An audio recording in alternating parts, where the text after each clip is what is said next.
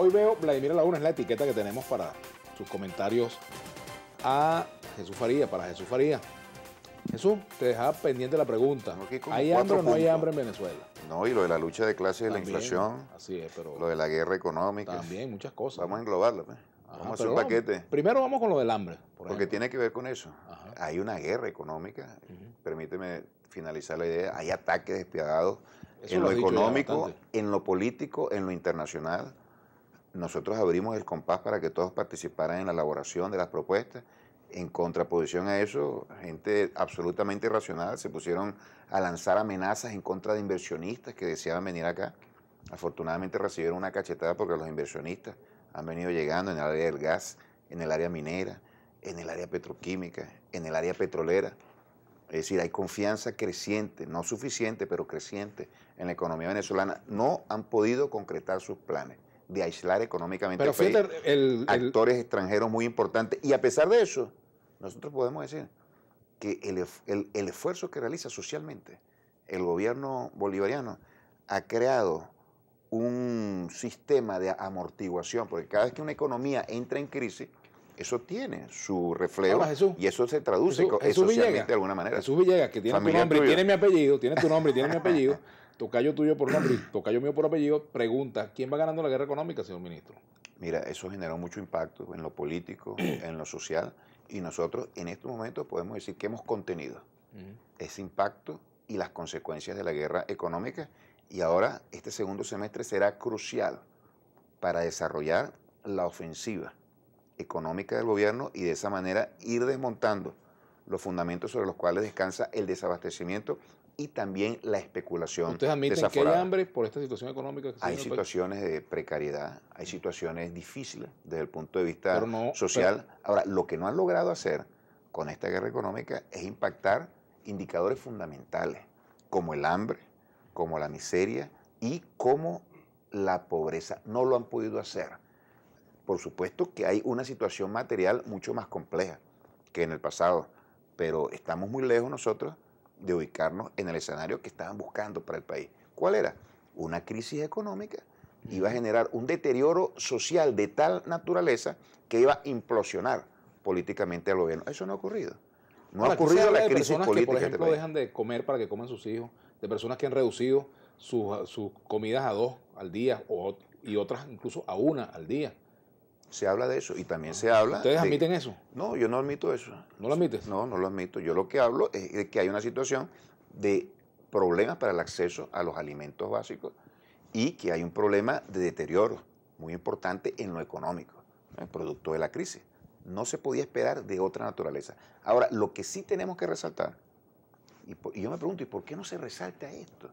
Que a pesar de eso, de que han caído los ingresos petroleros, que es la columna vertebral de este gobierno, este gobierno mantiene a 3 millones de pensionados con sus pensiones al día. Se incrementan los salarios, y como un gobierno revolucionario esa política se seguirá consolidando. Claro, por la se inflación se come esos aumentos, Jesús. Pero si no hay aumentos salariales es el peor de los escenarios. Ese es el peor de los escenarios. No ubiquemos al salario como la fuente de la inflación.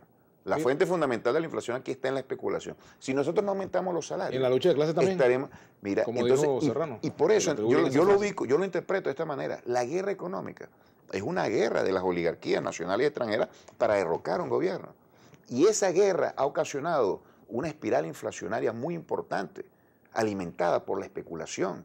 Esa es la inflación. Decía Roy Charlton que había bandidos infiltrados en el chavismo. Ah, por supuesto que sí. Y Nosotros... pienso en el tema de los alimentos, porque donde se detectó mucha corrupción fue precisamente en, todas estas negociaciones para la adquisición de alimentos. Eso es parte de la guerra económica, una guerra económica endógena también. La guerra económica es alimentada también por flagelos y fallas muy graves, estructurales, de las instituciones y de los principios que rigen, o bueno, la, la inmoralidad que rige a actores económicos.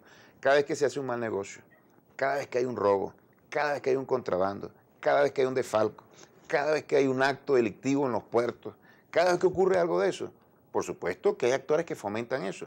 Y dentro de las estructuras del Estado venezolano, y allí participan también gente que se hacen llamar chavistas, pero desmoronan, desintegran cualquier tipo de identidad con el chavismo cuando incurren en estos actos a muy alto nivel. En todos los niveles. Mira, este es un gobierno que ha puesto, que ha sancionado y puesto presos a gobernadores, a magistrados del Tribunal Supremo de Justicia, a ministros o exministros. Y, y aquí viene la pregunta.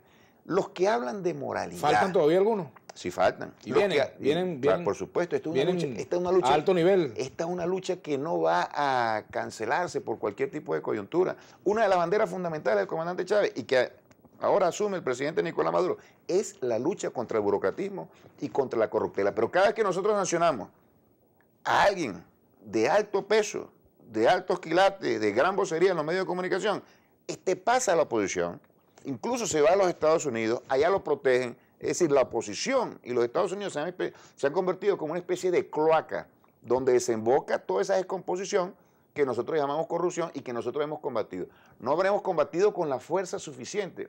Ok, a lo mejor no lo hemos hecho, combatido, pero hemos hecho el mayor esfuerzo que se conozca en la historia de este país en la lucha contra eh, la corrupción. Lo que te dice Rafael Garriga, al menos el ministro Faría, muy a pesar de ser marxista, es economista. Siempre será mejor que un militar. Mira. Te dice eh, Glory Andrés, ministro, cuéntenos qué se siente comer tres veces al día. Mira, te aseguro que la que escribió eso come tres veces y cuatro veces al día. Milton este, Perich, ¿cómo este, este, gobierno ha hecho un esfuerzo extraordinario, excepcional por el tema del alimento. Los CLA, que es un desarrollo muy importante de la revolución bolivariana. ¿Para qué?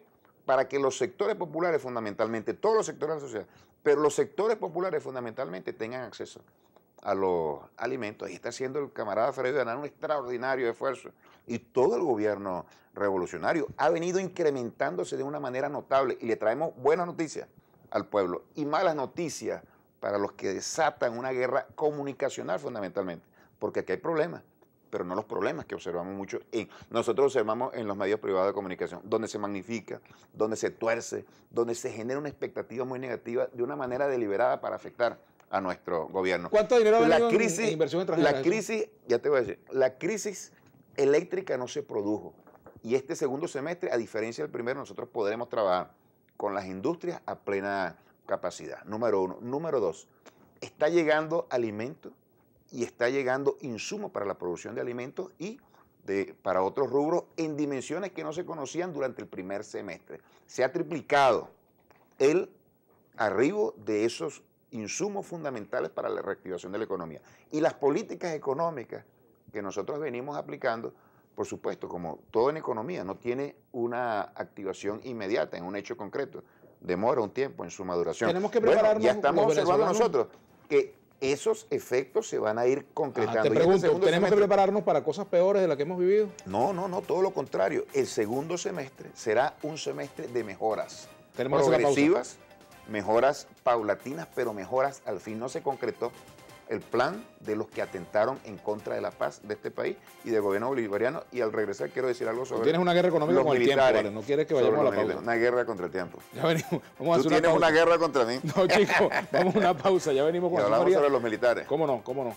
Y pueden escribirnos a través de nuestras redes sociales, arroba Vladimir Laguna, guion bajo GB, tanto en Twitter como en Instagram. Y particularmente nuestra etiqueta de hoy, hoy veo Vladimir a la una. Ya venimos. Todos los días, ¿vale? También, pero hoy particular.